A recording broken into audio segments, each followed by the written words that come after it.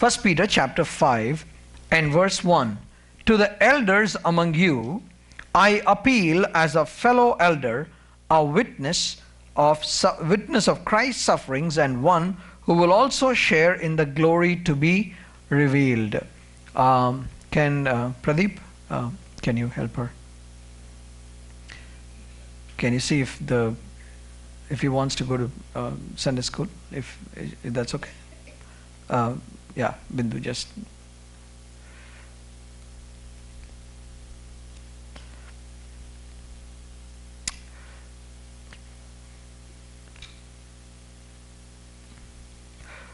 First Peter chapter 5 and verse 1. To the elders among you, I appeal as a fellow elder, a witness of Christ's sufferings, and one who will also share in the glory to be revealed. Peter in John chapter 21 made a mistake of leading the people in a wrong way. But as the time passed, after the Holy Spirit came, in Acts chapter 1, verse 8, Jesus said to them, You wait and you will receive the Holy Spirit and power. Acts chapter 2, the, on the day of Pentecost, the Holy Spirit God came. From that day on, this Peter was a changed man. I tell you, how much ever we try to do things on our own, we cannot change ourselves. When the Holy Spirit God came, he changed Peter totally. He changed all the people that day. You know, Peter before the day of Pentecost was a different man. He was a timid man. Even in front of a, in front of a young a child, maybe younger than even Alina, you know, uh, when she said, You're with Jesus, she said, No, no, no, no, I don't even know who is Jesus Christ. He denied Jesus Christ three times. And then he drowned in the water once. He took his eyes off Jesus. And then you see, there are lot, ne- lot of negative things that you can talk about Peter. He was a hasty man. He took the sword and was about to kill Malchus, and Malchus ducked and his ear was cut off. Nobody wants to cut off a ear. I've never seen anybody cutting an ear with a uh, sword. He probably wanted to chop his head off, but the ear was cut off. Jesus picked it up and then healed this man. What I mean, if you see the, uh, um, you, you can say, um, if you see the resume of of uh, Peter, it's all negative. He's not the right person for this. But on the day of Pentecost, God changed this man. And after the day of Pentecost, he became very bold. Remember, he was uh, uh, he denied Jesus Christ in front of a young girl. But in Acts chapter 4, he was vehemently proclaiming about Jesus Christ to the government. He said, "Should I uh, should we obey you rather than God?" He said, "We." See, look at Acts chapter 4. See this the change in this man, what happened in his life. Acts chapter 4 and verse 19. But Peter and John replied, Judge for yourselves whether it is right in God's sight to obey you rather than God, for we cannot help speaking about what we have seen and heard. He said, I cannot keep quiet. You know, prior to this, they were given a caution don't talk about Jesus anywhere. Peter and John had a jealousy problem before uh, the resurrection. You know, Peter and John had a jealousy problem. Same John, same John chapter 21. Look at this. John chapter 21. John chapter 21. Jesus talks to Peter and said, uh, uh, Do you love me? Three times, right? Three times. You know, God has a great sense of humor. You know, God has great sense of humor. You know why? Peter uh, denied Jesus Christ how many times? Three times. How many times Jesus asked Peter, How, Do you love me? Three times. Acts chapter 10, when Peter went to Cornelius' house, he got a vision that the uh, carpet with all the creatures, it came down. Right? You know how many times it came down in the vision? Three times. So he was always trying to remind, say, mm, three times, you know, you denied me, you denied me three times. So God has a great sense of humor. When Jesus said to Peter, Do you love me? And this man said, Peter said, third time, Yes, Lord, you know. You know I love you. And that's when Jesus said, You know what, Peter? There will come a day you don't want to go to a certain place, but you, will, you'll be taken. John chapter 12, 21 and verse 18. I tell you the truth. When you were younger, you dressed yourself and went wherever you wanted, but now you're old. When you're old, you will stretch out your hands, and someone else will dress you and lead you where you do not want to go.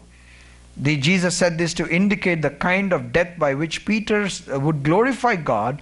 Then he said to him, Follow me. So, Jesus said to Peter in uh, Luke chapter 5, Follow me, for I will make you fishers of men. But after Peter messed up his life, after he made so many mistakes, he got a second call. Can you hear me? He got a second invitation which was a similar to the first invitation. You know, the call of God is always the same. There's a beautiful song in Telugu which says, see, this, this call, this appeal is for you. Even if you don't listen to this, it is for you. Let me tell you this in Telugu and also you will understand what this is. E pilupu nee korake, yeah, vinanannanu nee korake. This call, this appeal is for you. Even if you don't listen, this is for you. That's the persistence of Jesus Christ. He says, You know what? I love you so much. I don't care. You say, I love you so much. You say, I don't care. I don't want to listen. God says, I still love you. That's the persistence. When Peter got a call and he said, I will make you fishers of men, he made so many mistakes. You know, when we get in close to people, st- slowly, you know, we start looking at the negatives of people. Am I right? Initially, the first introduction is all very formal, very nice and slowly you start looking at the negatives of people. And then what do you say? Ah, I thought he was like this, but I thought she was so good, but you know what? She's like this. So we start looking at the negatives. That is what is happening before the Pentecost. When Jesus said to Peter, second time, he gave a call and said, Peter, follow me. Look at John chapter 21 and verse 20. Peter turned and saw that the disciple whom Jesus loved was following them. This was the one who had leaned back against Jesus at the supper and had said, Lord, who is going to betray you? You know, John never says it is me. It always describes himself. He doesn't tell his name. This 21 is John. And look at verse 21. John 21 21. When Peter saw him, he asked, Lord, what about him? Yeah, when Peter saw him, he asked, Lord, what about him? You know, why Peter got jealous here? You know, when Peter said, when Peter saw him, he asked, Why? Because, look at verse 20. Peter turned and saw that the disciple whom Jesus loved was following them. See, Jesus gave a call to who? Peter to follow. But he suddenly saw who is following? John is following. You get it? God, Jesus gave a call to Peter and said, Peter, follow me. And Jesus is walking, and who's behind him? John is behind him. This fellow, he, he called me to follow him. This fellow is already following him. So that's where the jealousy came. And that's when Peter said, ah, You told that I will die like this. Then this, this is a way he'll die. You know, that was the indication Jesus said. So Peter said, Okay, you told about how I'm going to die. What about your favorite fellow? This is your favorite fellow. You always keep him next, next to you, right? How is he going to die? And Jesus said, What's your problem, man? What's your problem?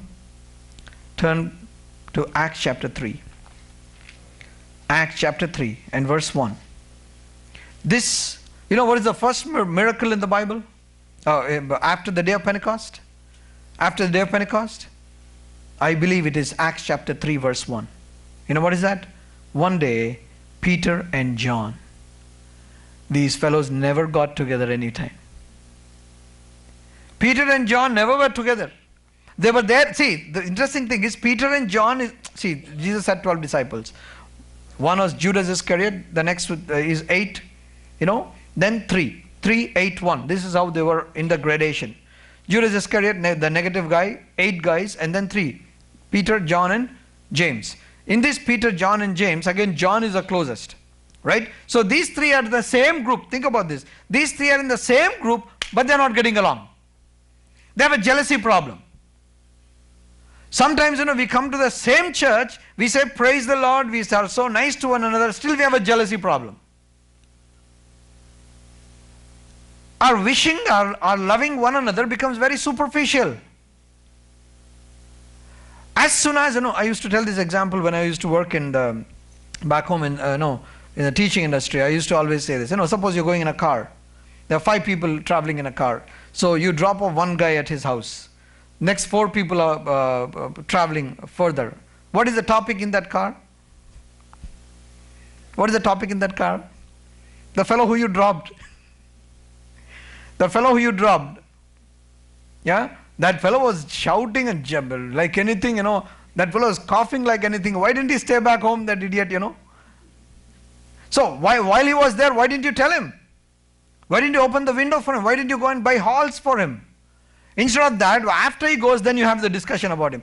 See, and the four fellows even don't realize that whoever gets off, he will become the topic the next for the next three.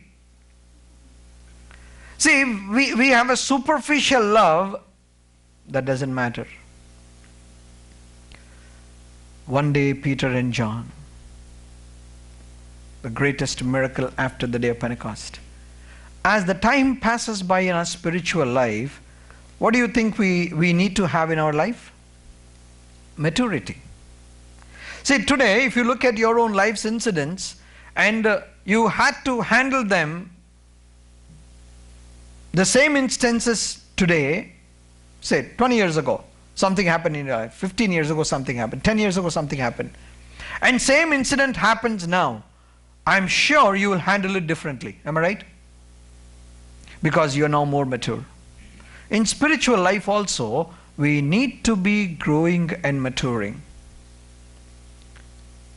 Peter, writing this uh, letter as a mature man of God, even John, you know what kind of man John was? John and James one day said, Jesus, do you want us to call fire from heaven and burn these fellows? He said, Hey, hold on, man, hold on, man. You know, they're called the sons of thunder. You know, John is called the, his brother and he both are called the sons of thunder. What does it mean? Some people, in the preach, it's all fire and brimstone.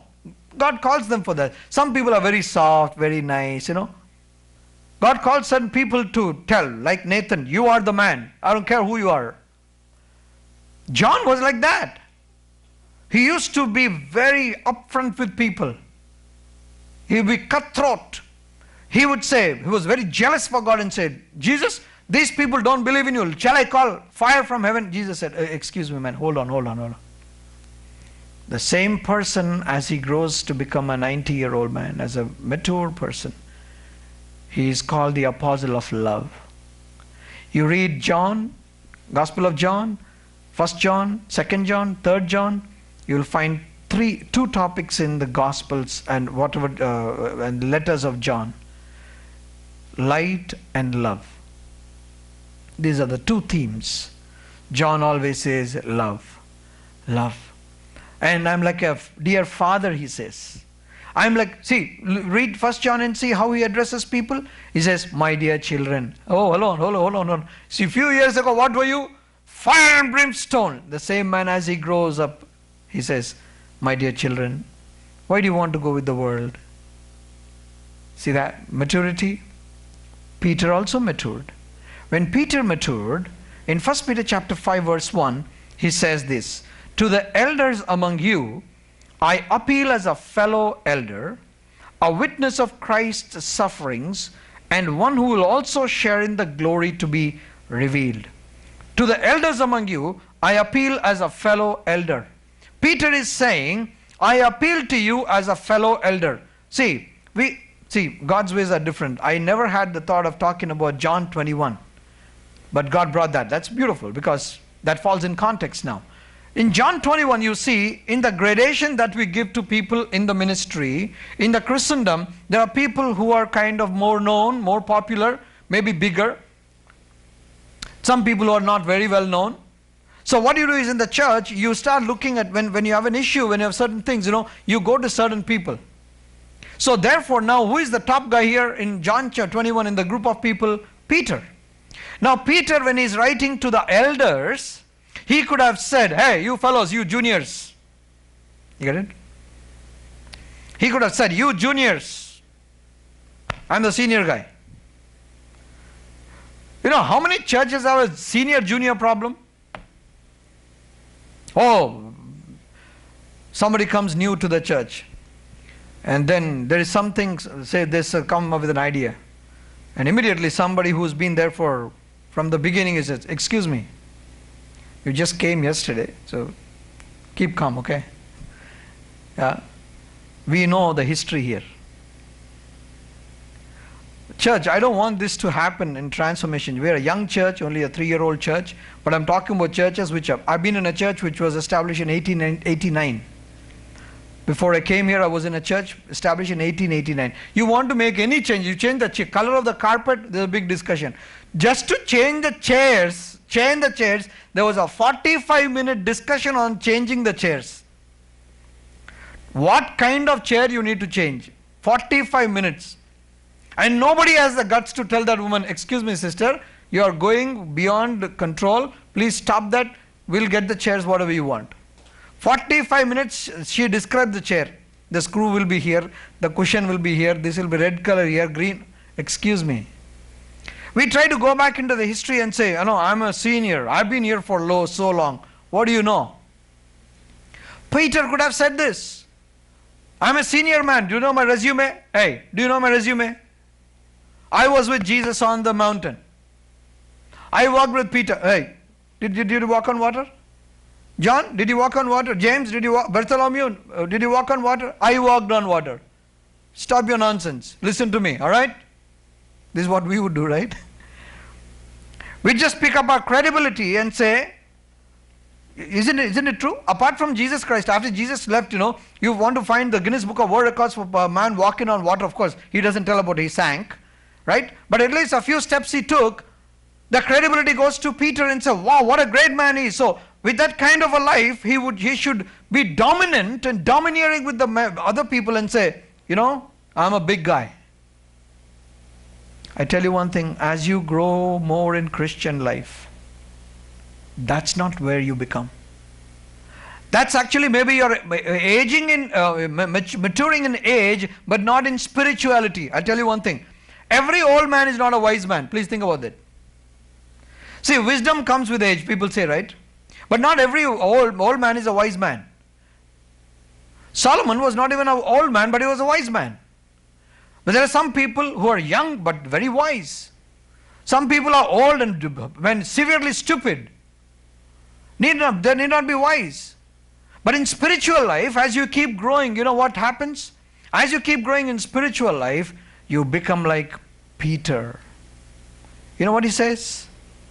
To the elders among you, I appeal as a fellow elder. What does it mean? What does it mean? I appeal as a fellow elder. I am also one with you. I am not here superior. I am writing to you, I am appealing to you not as a big boss, not as a big guy. I am appealing to you as one among you. This is not how Peter was. When on the day of uh, the, uh, you know the Lord's Supper, they asked, No, some one of you is going to betray me. What does all these disciples say? What did they all say? Not I, not I, not I. And Peter said to Jesus, I, No, you cannot go to the cross. You cannot go to the cross. And that's when Jesus said, Satan, get behind me. You know, this man was kind of elevated. But as he, as he, as he was saved, as he received the Holy Spirit, and in days to come, he humbles himself. You know what is a sign of maturity in spiritual life? We become more humble.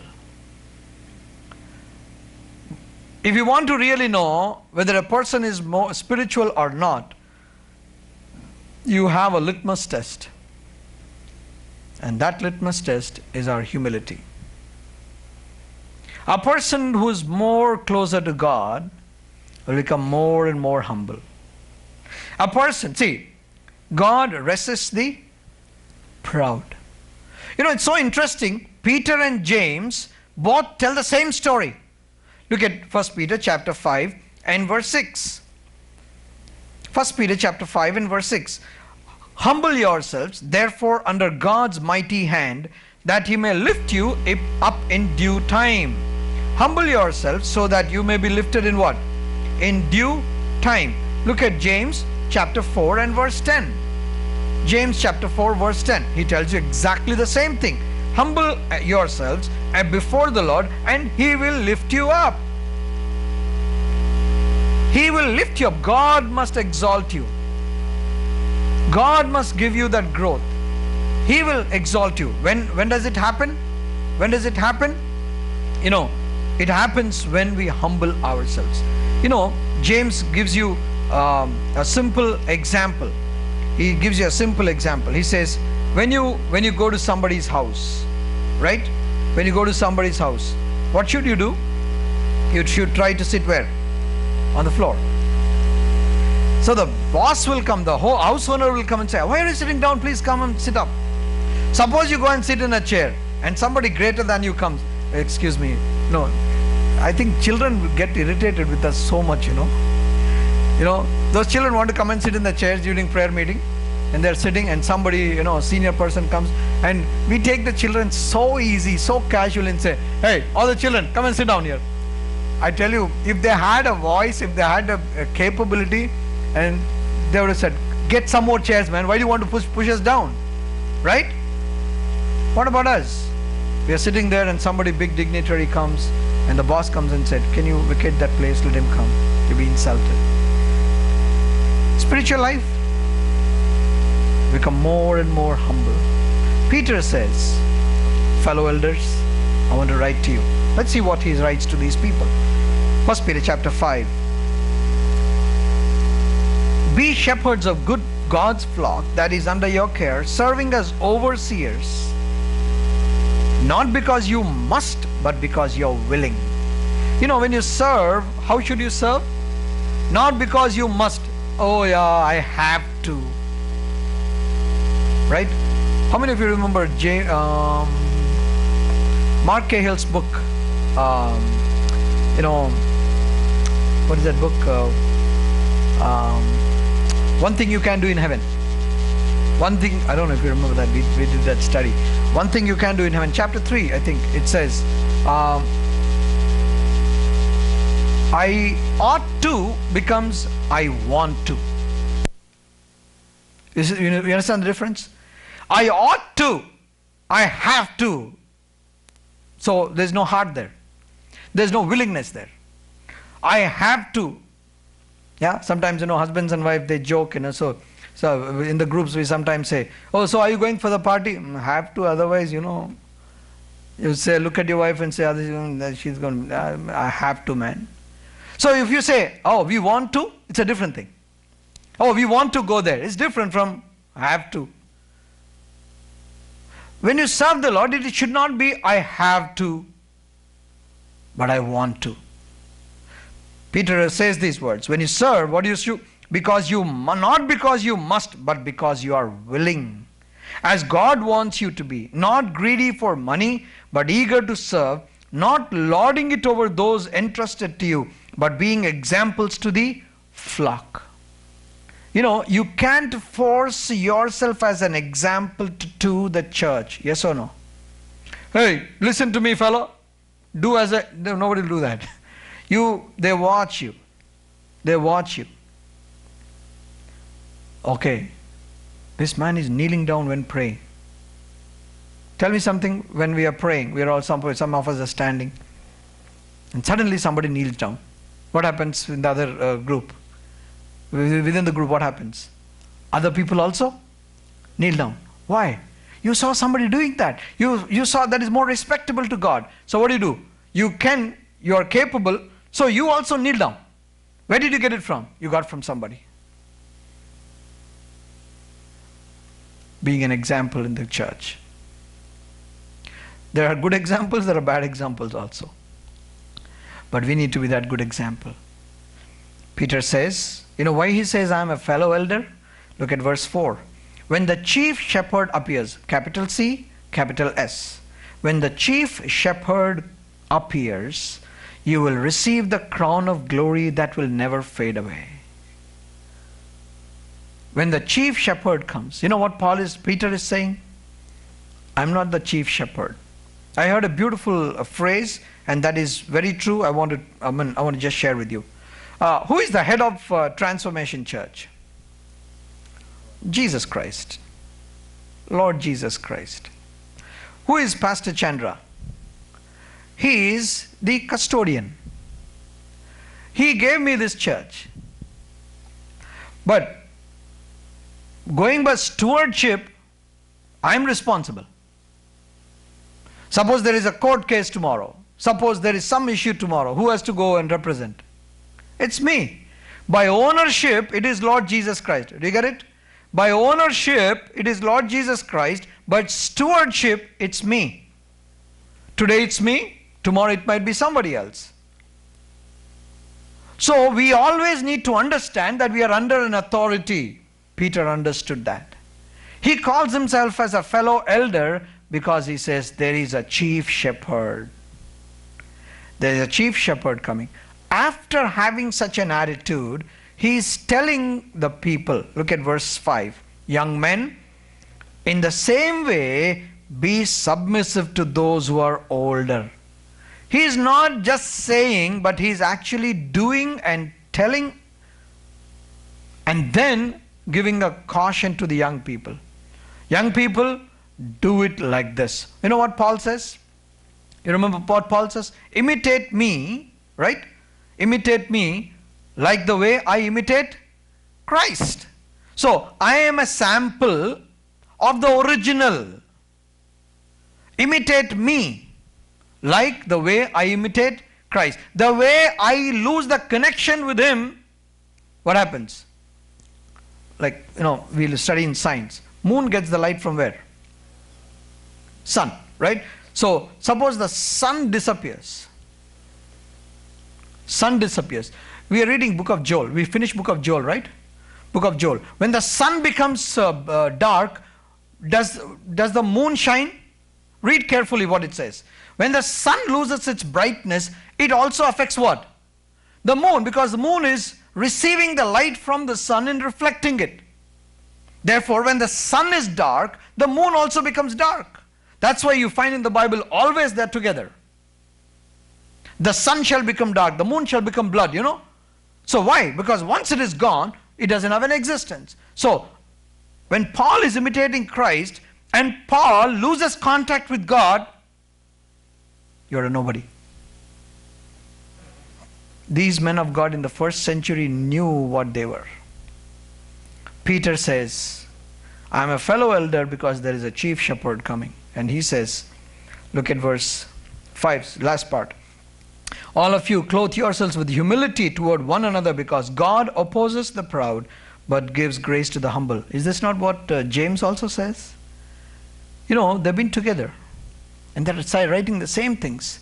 In the Bible, when uh, similar things are written several times, it means it is for a purpose. When two different people are writing for the same thing, say they're say, writing the same theme, it is for a purpose. And here you find God opposes the proud. I heard one man describe what is opposing. You know, in uh, opposing. You know, in in in in, uh, in physics, in electricity, we hear about what is called as resistance, right? Resistor. There is something called a resistor in the board, in the circuit board. Resistor. There's resistance. You know, when there's resistance, you know what it means? You want to. You are standing like this, and uh, God is standing against you and God is pushing you back. Church, we never want that life. We don't want God to be pushing us back. God opposes the proud. Pride is a dangerous thing, isn't it? Pride walketh before destruction. A proud man, very dangerous. Unfortunately, he doesn't know that he's proud, but it affects everybody around. And that's why, as we grow in spiritual life, we become more and more humble. Peter is doing that. He's become very, he says, humble yourself, therefore, under God's mighty hand, that he may lift you up in due time. And then he says, 1 Peter chapter 5, verse 7, cast all your anxiety on him because he cares for you.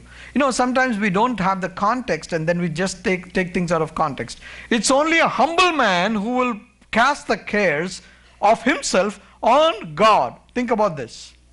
A proud man says, I will handle myself. I will handle myself. If it's, see, it's a humble man, he will say, Hey, why are you taking that burden? Let me take that. Why don't you give that burden to somebody else? Oh, yeah, yeah, okay, I'll give it. Suppose a proud man, uh, I don't need, man, I'll do it myself. It's a humble person who will say, Okay, I'll yield. Tell me something. Who will yield? It's not a proud person who will ever yield. It's always a humble person who will yield. And therefore, he says, look at verse 8 Be self controlled and alert. Your enemy, the devil, prowls around like a roaring lion looking for someone to devour. Resist him, standing firm in the faith, because you know that your brothers throughout the world are undergoing the same kind of sufferings. You know, this is how Paul is, uh, Peter is writing. The topic is changing there, but I want to take you to another person who, as he grew in uh, spiritual life, how he became humble. You know, Paul, Acts chapter 9, he came to kill Christians. He had the royal authority, he had the priestly authority, he had the letters from the you know, synagogue, and he was going to kill people. And he was going to kill people. Jesus confronted him and he said, Paul, Saul, Saul, why do you persecute me? He said, Who are you? Said, I'm the one who you're persecuting. And then because of that, this man, see, God, I told you, right? God has a great sense of humor. In the same chapter, Acts chapter 9, look at verse chapter 9. Acts chapter 9, this man who came with all the authority, with the sword, with all the weapons, you know what's happening? Some people came to know that Saul is here and they wanted to kill him. They wanted to kill him. So what did uh, what did uh, what happened to Saul? Look at chapter 9 and verse 23. After many days had gone by, the Jews conspired to kill him, that is Saul. But Saul learned of their plan day and night. They kept close watch on the city gates in order to kill him. So they were waiting. As soon as he comes out, just chop his head off. Kill, him, kill this fellow. Look at verse 25. But his followers took him by night and lowered him in a basket through the opening in the wall. This man was such a giant with all the authority. You know, where is he now? You know, this is a this is a wall. This is a city wall, right? Just think this is a city wall. And from the top, uh, you know what they did? On the other side, they, uh, they say, Saul, Saul, you want to live, you have to do this.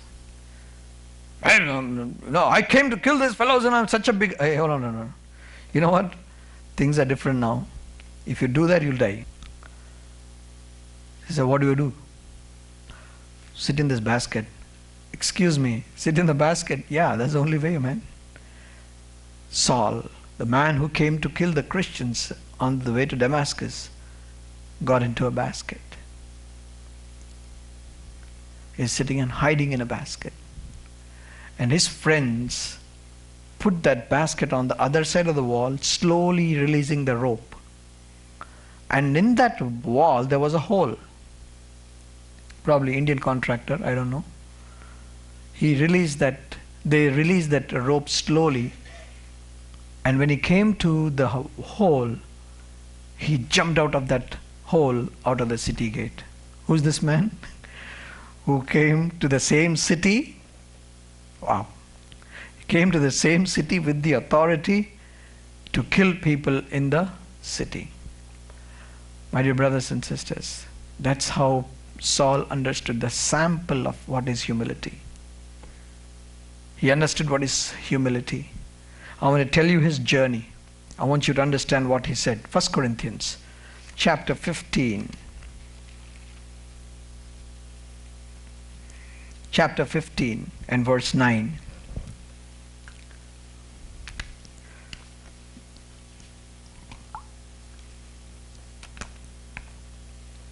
Verse 9 For I am least of the apostles.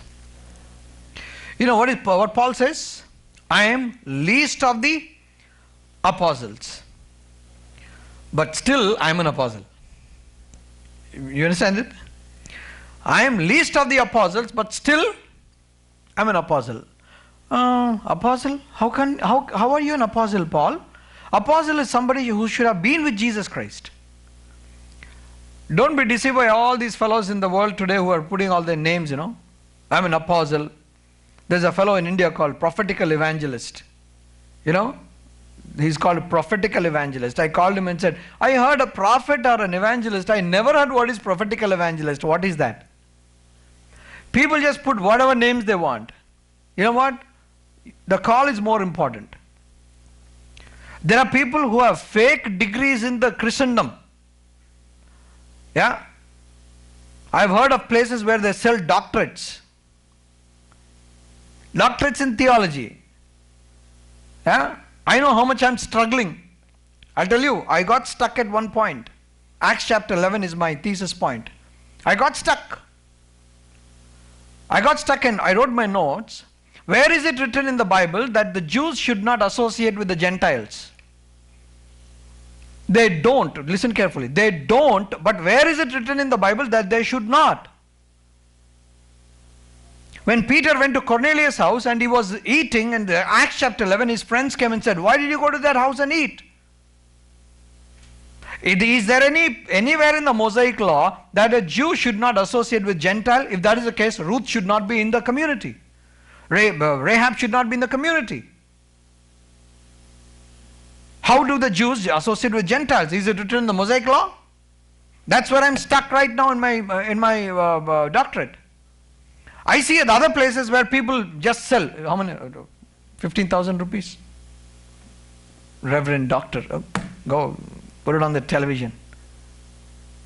Stupidity.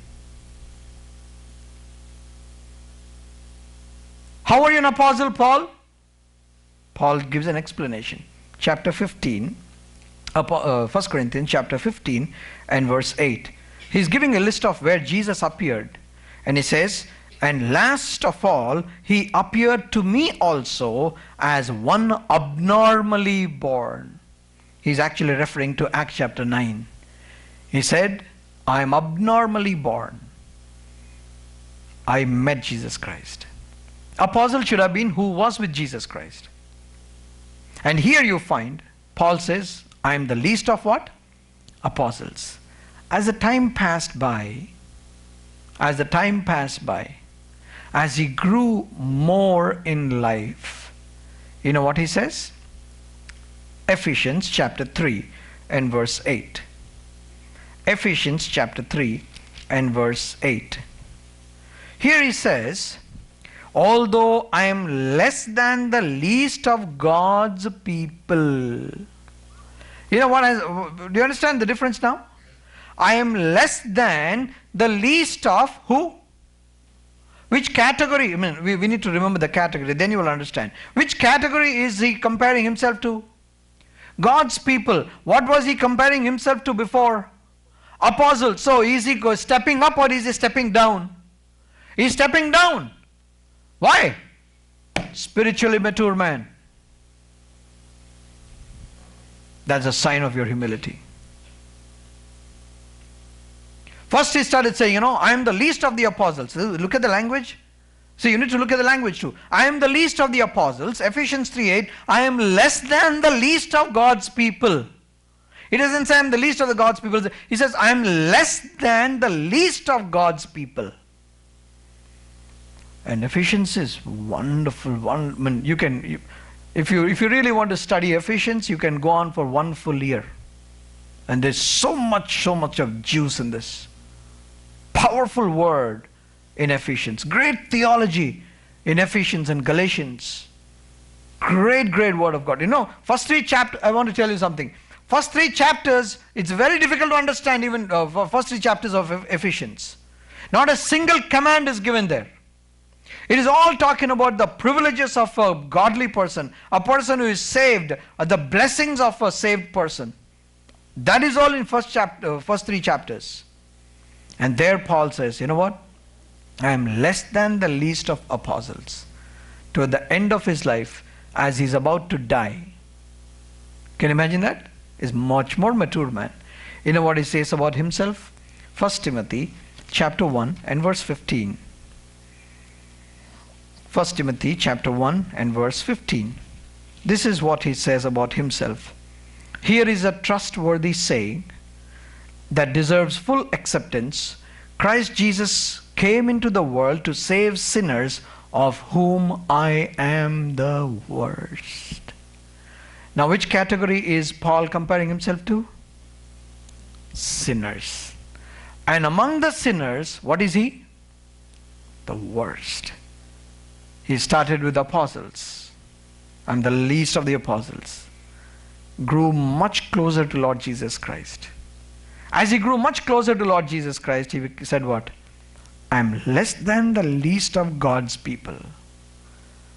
Having experienced the imprisonment in Rome, having been released, and then having been, been flogged, being naked for Jesus Christ, being hungry for Jesus Christ, being lashed 39 times, uh, several times, and then being, uh, uh, you know, insulted by people inside, outside. Second Corinthians chapter 11 gives you a list of what he went through. And don't forget, Acts chapter 13, which he refers to in Second Corinthians chapter 12, he is the only man who went to the third heaven.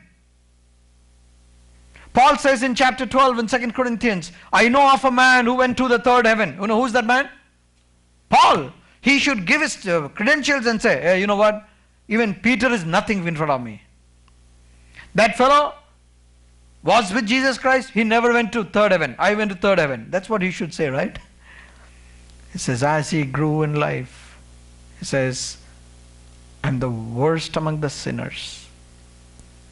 Tell me, does this is this is this how the world will let you write your resume as you grow in years?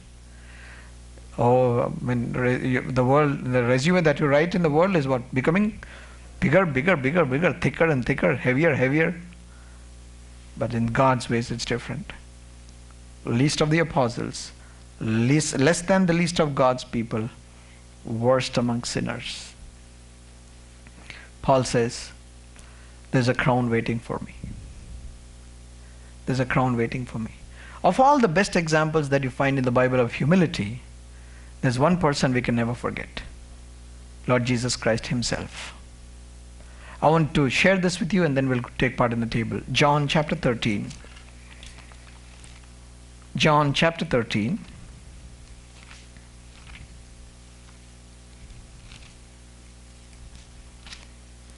Look at verse 3.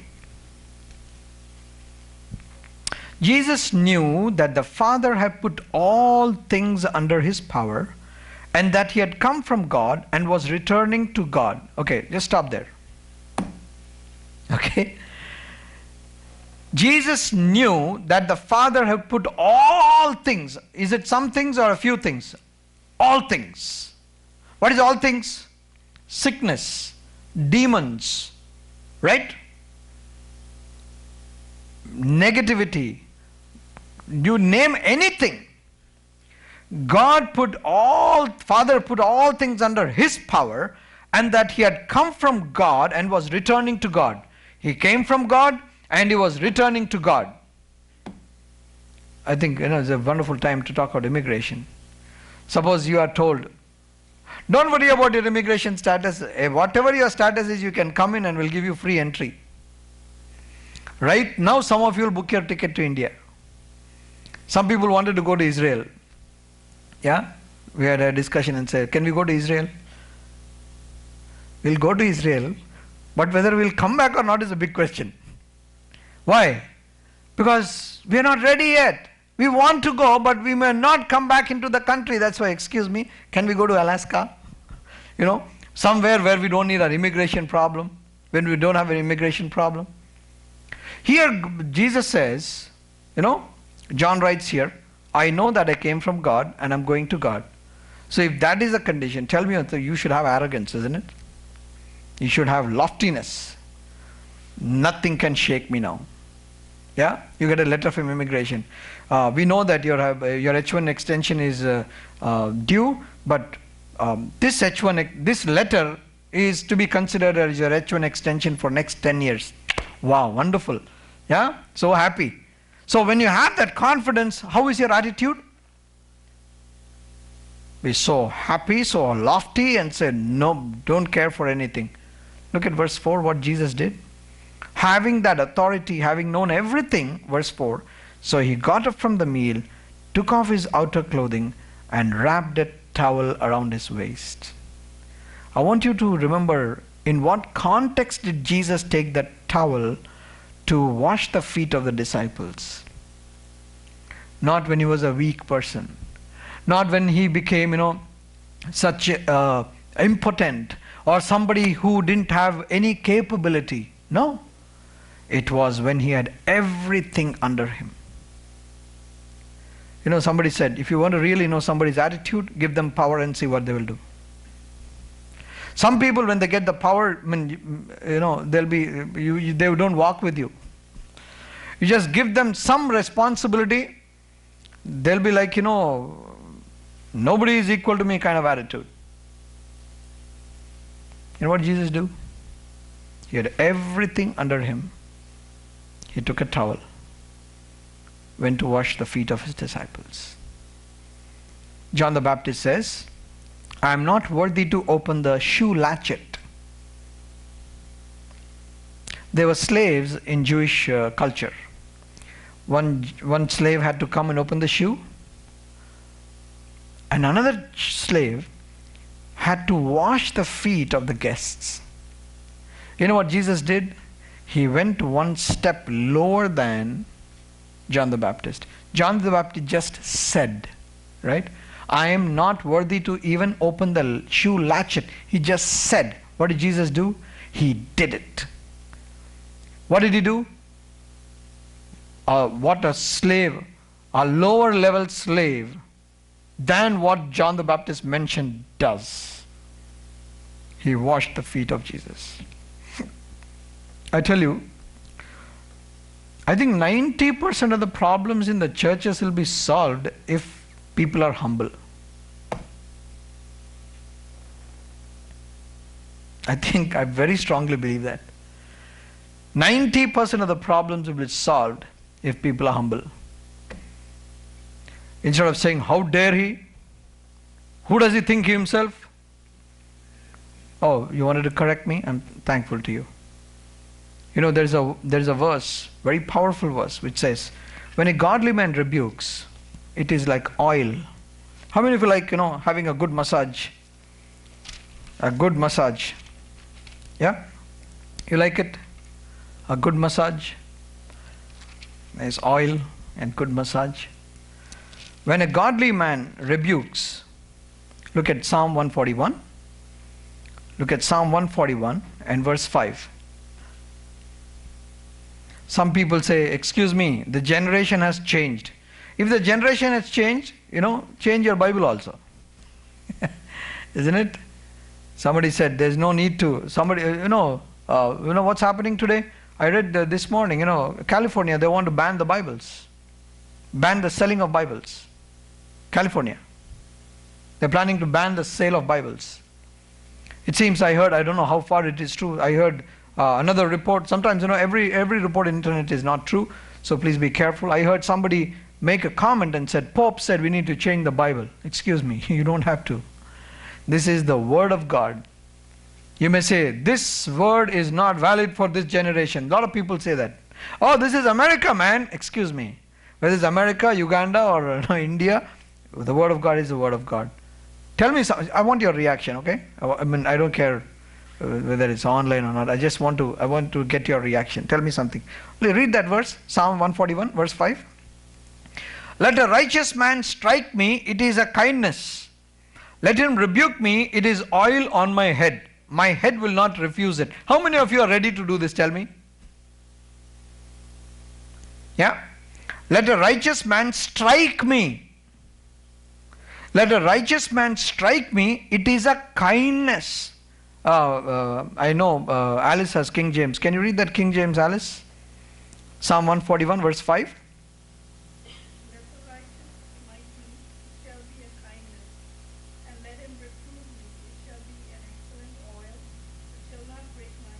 Yeah. Right. It is oil, it's an anointing. It is oil on my head. A righteous man telling me. You know, when our humility will be tested? When the things that you like the most are tickled. You get it? A lot of people do things with resentment. Resentment. Uh, that fellow said, I have to do this, so let me do this. There's no joy in what you're serving. Peter said, when you serve the Lord, you must do it willingly, not because you have to. You do it willingly. You are told something that you don't like to do. What happens? You'll immediately say, I don't do that. I don't do that. You know what? Maybe you are giving you are being given a new direction. You are being given a new direction. That's where you that's where humility is seen.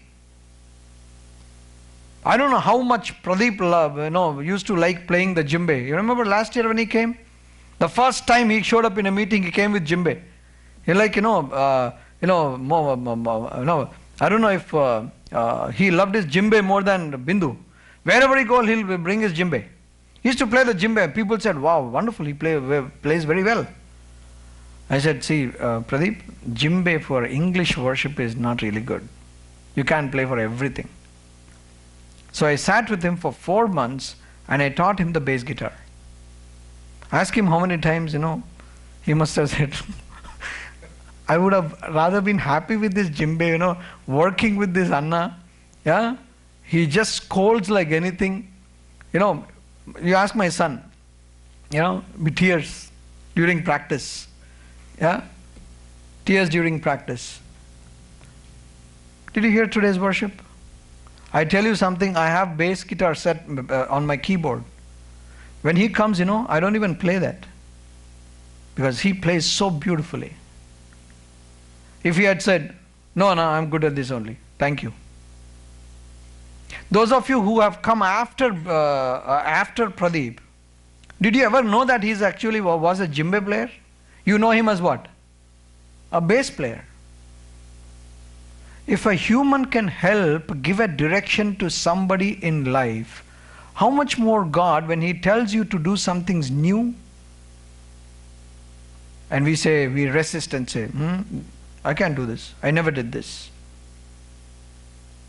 That's where your humility is tested.